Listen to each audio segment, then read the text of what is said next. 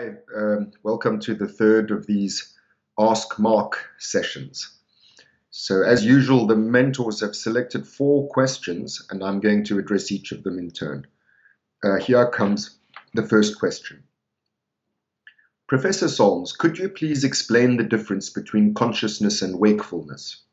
And why do you think the reticular activating system is not just wakefulness, as Giuseppe Moruzzi and Horace Magoun thought it was? Well, the reason that Magoun and Moruzzi thought that the reticular activating system was um, responsible for wakefulness was because it was such a surprise that it was responsible for consciousness at all.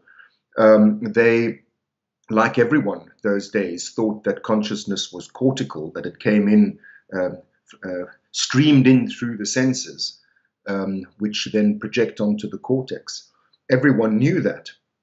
When they then found that there was this very primitive mechanism deep in the core of the brainstem, which somehow seems responsible for switching on all of that upper type of consciousness, uh, they did what scientists um, since time immemorial have done.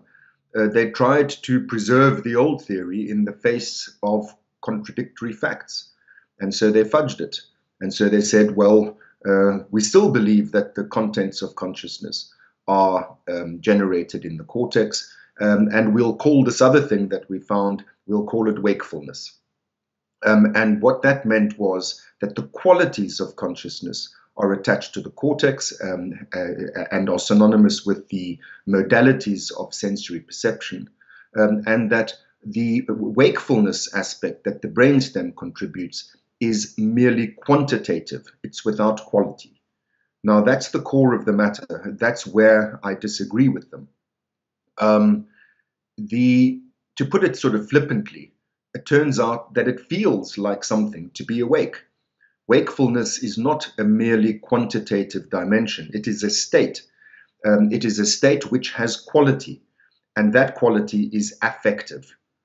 Uh, when you say that the contents of consciousness are derived from the five classical sensory modalities, first of all, it leaves out of account that there is a sixth content, a sixth quality to consciousness, and that is emotional feelings, affects. Uh, they too exist. They too are part of the contents, the, the ingredients, the palette uh, of the qualities of, of consciousness, and they clearly do not come from the outside world affects are not about the outside world, they're about yourself. Affects represent the state of the subject. It doesn't represent, they don't represent um, the state of the objects outside of us, but rather our own response to those objects or our own attitudes to those objects.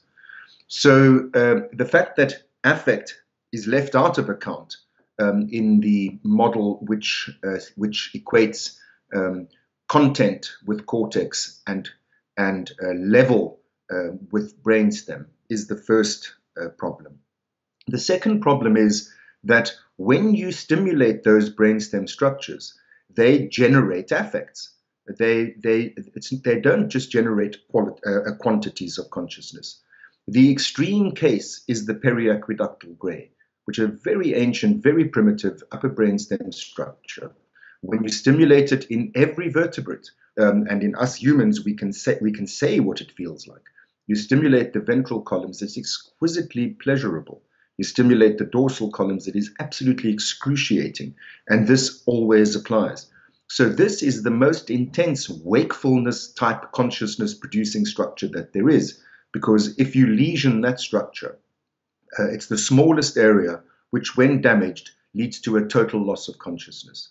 So what that shows is this quantitative dimension, this level, uh, this wakefulness aspect of consciousness is synonymous with affectivity, with the missing part um, in, in regard to um, the old view that content comes from the outside. You must remember that the that qualities, in, that is to say, comes uh, from the outside, the qualities of consciousness. You must remember that psychiatrists, um, who are, after all, dealing not with wakefulness, but rather with feelings. The drugs, the most common drugs like antidepressants and antipsychotics, they act on those upper brainstem reticular activating system structures. That's proof enough that, um, that we're dealing with something more than wakefulness. To sum up, I think that we never would have attributed mere wakefulness to the reticular activating system if it wasn't for the fact that by the time we discovered its contribution to consciousness, we had already attributed the contents and qualities of consciousness to other structures. So we were trying to we were trying to fit the reticular activating system into a pre-existing schema, uh, rather than accepting that our pre-existing schema was wrong. Had we started uh, our discovery of the brain mechanisms of consciousness with the discovery of the role that the reticular activating system plays, then we would have realized what is the true state of affairs, which is that the upper brainstem generates all consciousness, and that the primary form of consciousness is affect, and that only secondarily it activates those upper cortical structures and then bestows quality on the otherwise unconscious information processing tasks that they perform. That formulation is consistent with the evidence, um, with all the evidence. The reason we didn't come to it in the first place was merely uh, historical accident and convention, and we have to get beyond that. We have to we have to move to um, an understanding of consciousness which fits better with all the facts. Okay, so that's uh, that's question one.